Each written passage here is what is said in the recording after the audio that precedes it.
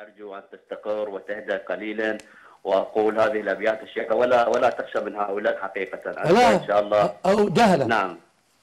أحسنت أحسنت. الله يعلم من هم الجهله ولو أعطاك ربك ما تمنى. لزاد الخلق في عظم العيور. عمر على ما شباب اقفلوا على الراجل ده. أن يا شباب.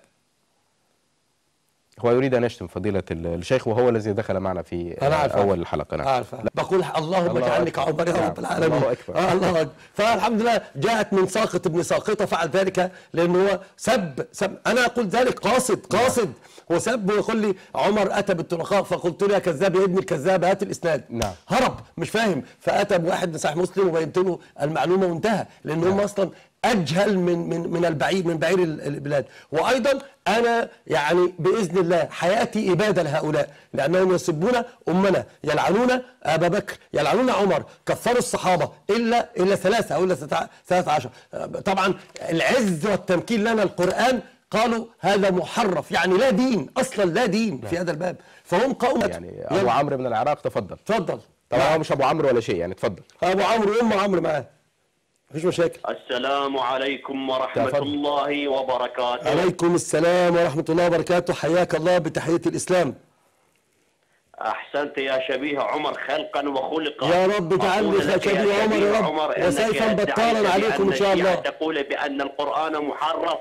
والآن أمام المشاهدين سأذكر لك من البخاري من البخاري إن البخاري يعتقد إن القرآن محرف وإن الألباني يعتقد إن القرآن محرف.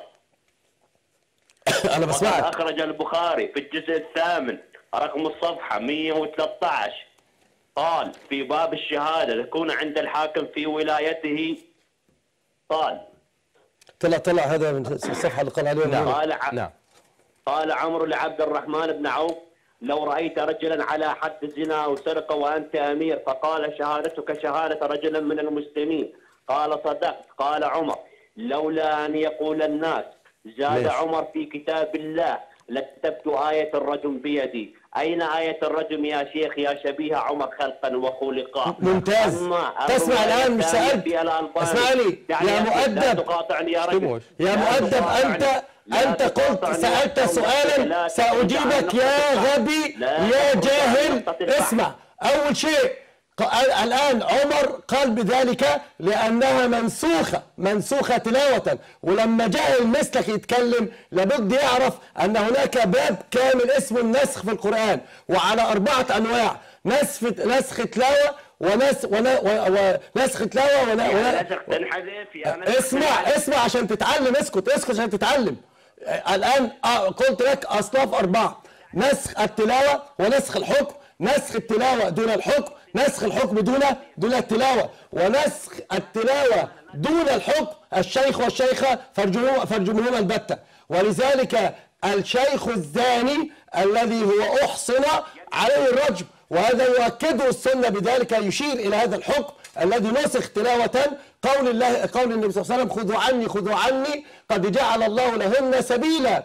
ال- السي السيب السيب جلد 100 و- والر- والرجم إلى الموت. فأنت جاهل بالنسخ تتكلم وأنت جاهل. يبقى عمر في هذا الباب يقولون زاد أو ما زاد. عمر أراد أن يفهم الناس حتى أنه خطب وقال رجم رسول الله ورجم أبو بكر ورجمته. وده بإقرار الصحابة وإجماع الصحابة. فلما تكون متخلف عن. عن العلم لا تظهر جهلك بهذه الفظاظة. المسألة أن هذه الآية منسوخة تلاوة ثابتة حكما وأكد ودل عليها كما قال الشافعي أن السنة مبينة للمنسوخ في ال- الكتاب ولا تنسخ الكتاب. قال قد خذوا عني خذوا عني قد جعل الله قد جعل الله لهن سبيلا السيب والسيب. جلد مئة والرجم. نعم. أيضا حسين من الجزائر يكفينا من جهله. حسين من الجزائر تفضل. ألو؟ نعم تفضل حسين. زلزلة لأنهم شياطين. إيه يا عمر؟ ويقول إن الشيطان ما رآك سلشت سلكت فجا إلا سلك فجا فهم شياطين. نعم. فلذلك يفرون ويرتعدون من عمر بن الخطاب رضي الله عنه. وارضاه أيضا نواف من الكويت تفضل. كن رجلا ولا تتهرب كن. رجلا ولا تتهرب وتقطع الاتصال يا رجل فإن الجاهل هو عمر عندما قال لولا أن يقول الناس زاد عمر في كتاب الله لكتبت لا آية لو سمحت يا. شباب اغلقوا سيدي عنه. ولا تدخلوا لا. لا لا لا م- بس معذره يا شيخ هذا هذا جاهل سيفيض بجهله على أنا اريد هذا نعم. غبي مش فاهم كلم نعم. تكلمنا عن النسخ مش فاهم معنيش نسخ نعم. وعمر لما قال بذلك بين أنها منسوخة تلاوة لكن الحكم جاء الحكم موجود وقد قام على المنابر وخطب الناس بذلك وقال رجم النبي ورجم آه، أبو بكر ورجمته لو أرى لو هو لو أراد أن يفهم فضيلة الشيخ لاستفدنا له في الشرح لكن الهدف النهائي عنده ألا يفهم وأن يغلوش وأن يضيع فوائد أعرف الحلقة نعم. لكن هو أيضا يكشف جهلا للناس نعم. وغبائه وأيضا سوء أدبه نعم. يعني كن رجلا أنت رجل يا متخلف. يعني أنت لا تعرف شيء عن القرآن الله جل في علاه الله يقول إن نحن نزلنا الذكر وإن له لحافظين محكمة في آيات الله. ويا خبيث تقول بأن القرآن محرف. يعني بتقول لربك أنت كذاب. لا. بتقول لربك أنت كذاب لأنك قلت للناس وضللتهم إن نحن نزلنا الذكر ان له لحافظون. حاشا لله. ناقل الكفر ليس بكافر لكن هذا قولهم. معنى أنك تقول بأن القرآن محرف أنت في هذه الآية ماذا تفعل فيها؟ نعم. ماذا تقول؟ تكذب الله جل في علاه وداخلته كلها فضيلة الشيخ لتقعيد أن القرآن محرف. هو هذا بيقعد بالكفر وكأنه- ويحسب أننا هو سنسمي نعم. عليه. ويريد. أن يلقي الكرة في باب أن السنة هم من قالوا بأن القرآن محرف فلماذا تلوموا على الشيعة يعني؟ سبحان رب العظيم. نعم. طيب. طيب بين لهم هذا كلام عمر يبين فهناك تكملة للفيديو. صحيح البخاري الطبعة المعروفة الصحيحة الطبعة الطبعة الحجرية في باب آه الأحكام. إنه شو باب؟ باب الأحكام. طبعا هنا باب الشهادة تكون عند الحاكم في ولاية القضاء. طبعا عن أكرمة قال عمر لعبد الرحمن بن عوف لو رأيت رجلا على حد أو زنا أو سرقة وأنت أمير فقال شهادتك شهادة رجل من المسلمين. ضع اسم عليه صدقت. قال عمر. لولا أن يقول الناس زاد عمر في كتاب الله لكتبت آية الرجم بيدي. يا شيخ إذا كانت هناك نسخ في الحكم فالمفروض الآية موجودة بالقرآن. على حد قول عمر. وإذا كان هناك نسخ في التلاوة فلماذا عمر يريد أن يكتبها بيده في القرآن؟ ويخاف من الناس لا يخاف من الله. إذا من يوص من يوصف بالجهل والغباء ليس أنا وإنما القائل لولا أن يقول الناس زاد عمر في كتاب الله لكتبت آية الرجم بيدي. عمر القائل وليس أنا والناقل البخاري فلماذا تخدع الناس وتخدع نفسك؟ كمل الفيديو عملي كمله أبو علي من العراق تفضل. السلام عليكم ورحمة الله وبركاته. السلام. سلام ورحمه الله وبركاته